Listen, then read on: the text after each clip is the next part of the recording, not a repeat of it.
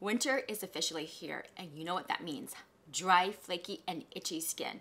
But don't worry, because today I'm gonna share with you my top 10 tips to combat dry winter skin. Hi, my name is Dr. Jenny Liu. I'm a board certified dermatologist and welcome or welcome back to my channel. Now, living in Minneapolis, I know firsthand how dry and cold weather can significantly impact skin.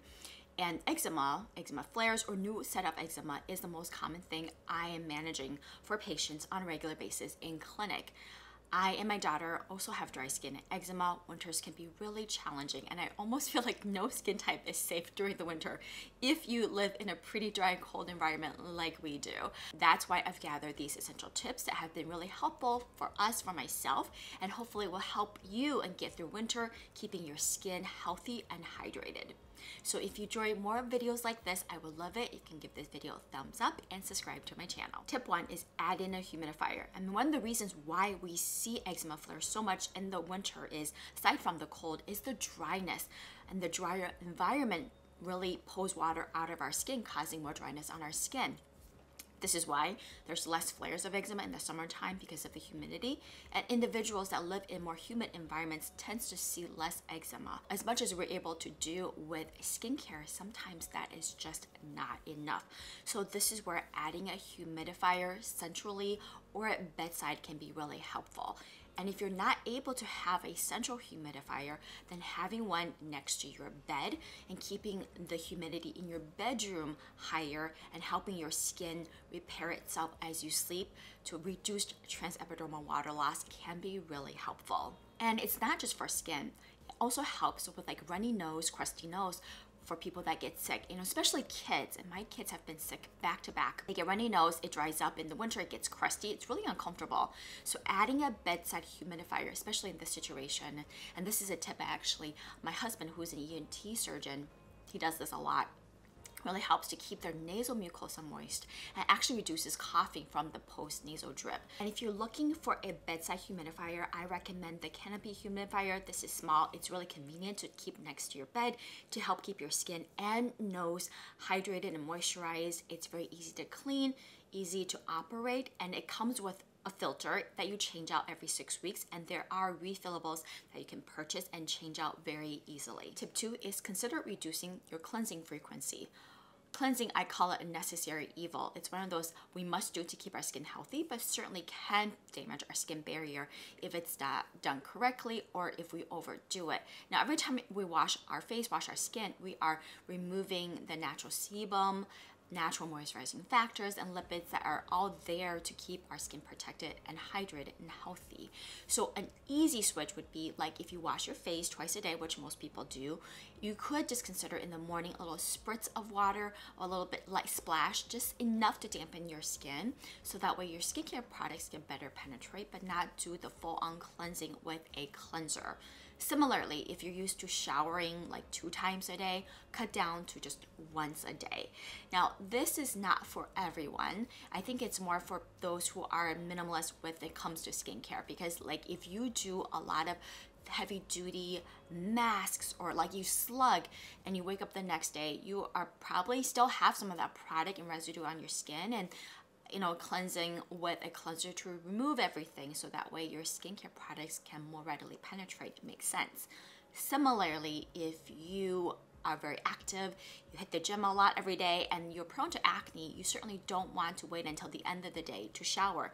You want to kind of rinse that off with even water so that way that sweat doesn't build up and contribute to acne. So this tip isn't applicable to everyone, but see if you could make this work in your routine that may be helpful in reducing dry skin. Tip three is avoid cleansing mistakes and rethink your cleansers. So as I alluded to earlier, when we cleanse, especially with the cleanser, it certainly is, a, is important to remove all the makeup, sunscreen, sebum, but cleansers don't really discriminate from like the things that should be removed from our skin from what our skin makes naturally. So the natural moisturizing factors and lipids, it just removes everything.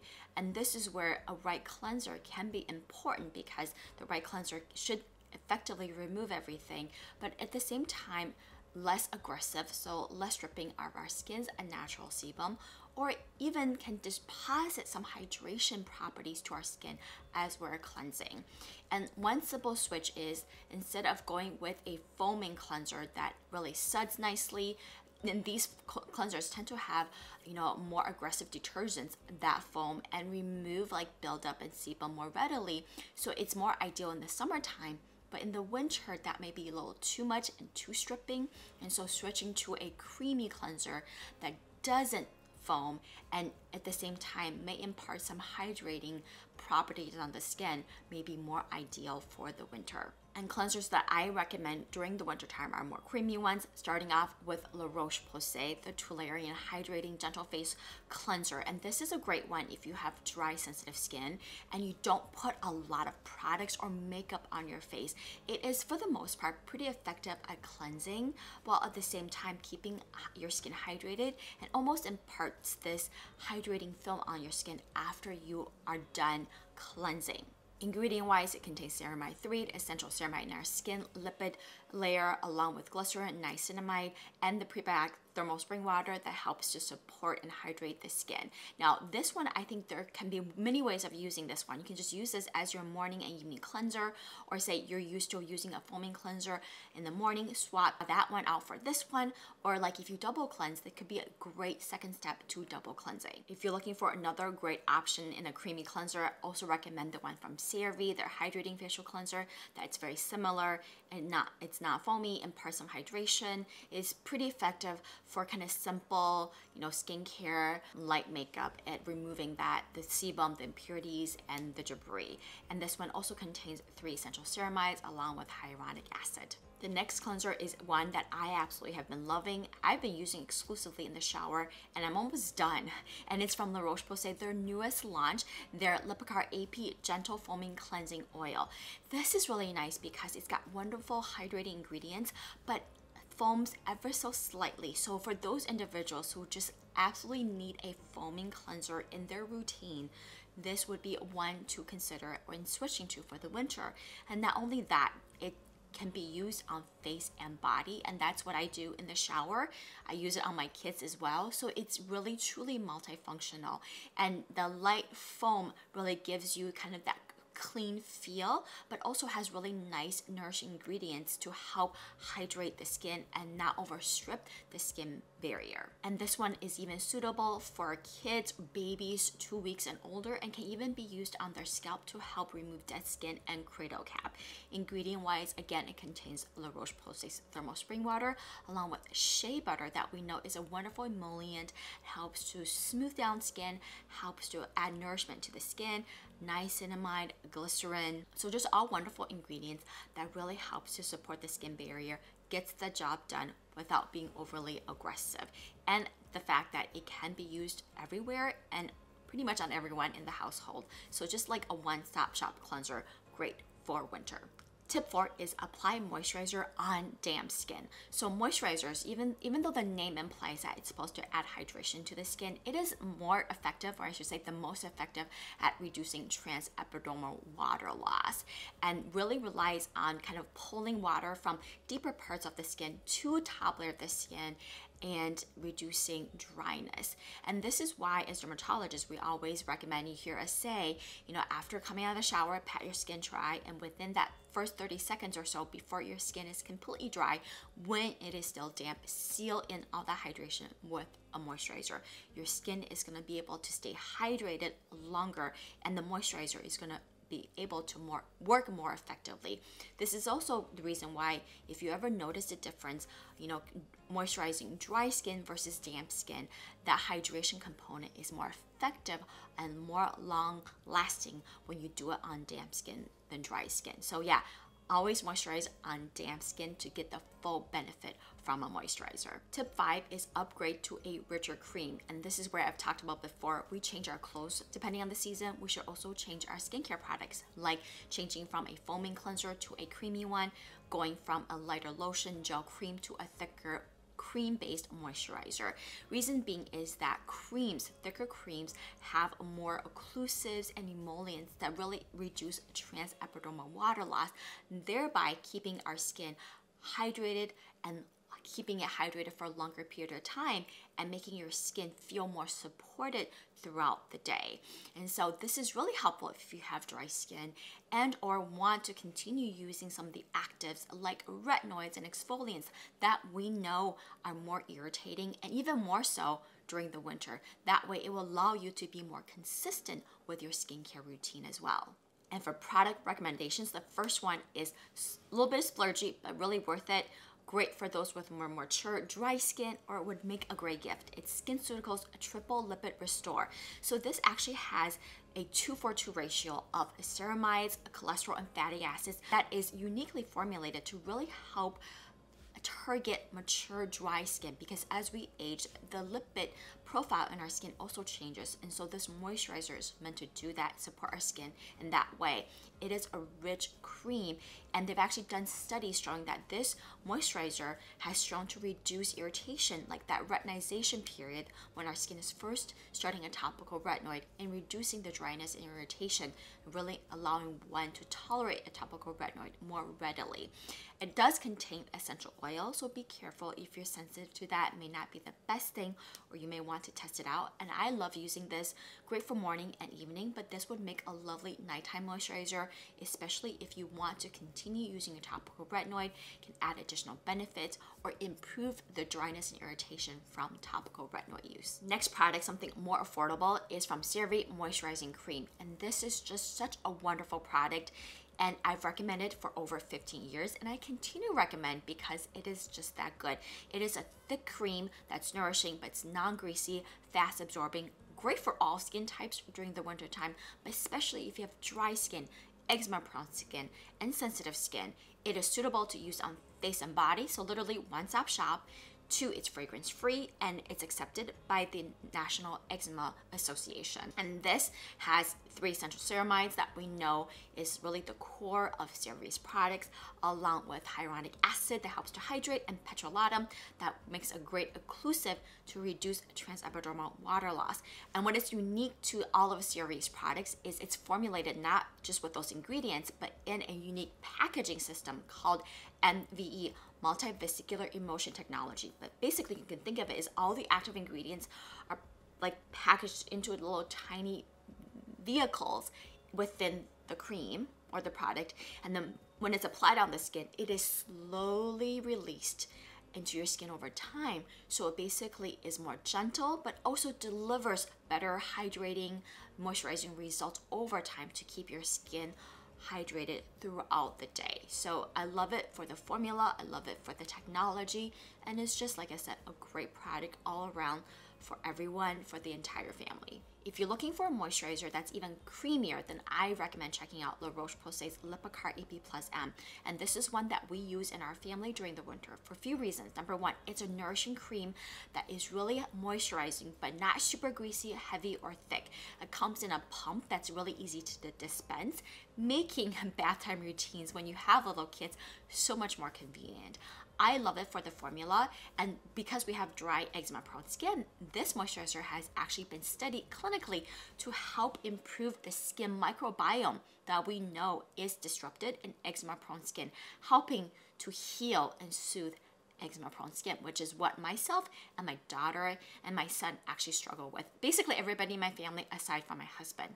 And the ingredients are really fascinating. So, number one, it contains La Roche Posay's thermal spring water that we know really helps to support healthy skin microbiome. You've got your you know nourishing ingredients like ceramides, ceramide 3, shea butter, and then niacinamide that helps again support skin barrier, and then glycerin that is a great humectant. Now, what's most fascinating is a postbiotic ingredient, and it's called Aqua Posae filiformis. And this is basically a byproduct of a gram-negative bacteria that uniquely thrives in La Roche-Posay's thermal spring water. And it's super fascinating because in clinical study, what they did is they swabbed the skin before putting on this moisturizer, healthy skin and eczema-prone skin, like affected by eczema, used this moisturizer for 28 days, and then we swabbed both areas. And what they've shown is number one, before use, we know there is a disbalance of the skin microbiome on eczema prone skin. But after 20 days of use, that disbalance actually starts to revert back to what you typically would see in healthy skin. So this moisturizer like I said, I really recommend it for those with dry skin, but especially if you are prone to eczema and struggle with eczema, this can be a very helpful part of the eczema skincare routine along with prescription medications. Tip number six is consider including ointments and balms in your routine. So as I mentioned earlier, when it's so dry and cold, sometimes moisturizers are just not enough to seal in all of that water and reduce transepidermal water loss. And this is where going with something that's super occlusive, like 100% petrolatum or ultra thick balm, where you need it all or all over as needed can be really helpful to repair your skin, reduce dry flaky skin. And especially for kids that struggle with eczema, I tell parents, and parents do love this even though it's kind of messy, but in the evening it is great. Just Aquaphor or Petrolatum as your moisturizer to just coat all over the skin can be super, super helpful and like, like I said, really helps to repair the skin, soothe the skin, especially in dry and eczema prone skin. 100% petrolatum is the most occlusive and studies have shown that petrolatum really helps to repair and initiate skin repair kind of at all levels of the skin. So it is just great. And you know, we know it doesn't contain fragrance, it's inert, so really ideal for those with dry sensitive skin too. Now, how to do it, how to slug, basically after cleansing, I recommend putting on a moisturizer to damp skin to add hydration. It's gonna be the first layer to really reduce transepidermal water loss, and then you're gonna just slug everywhere or where you need to to kind of be that last step to seal everything in and kind of film that protective layer to help your skin heal and keep it hydrated, say as you sleep overnight.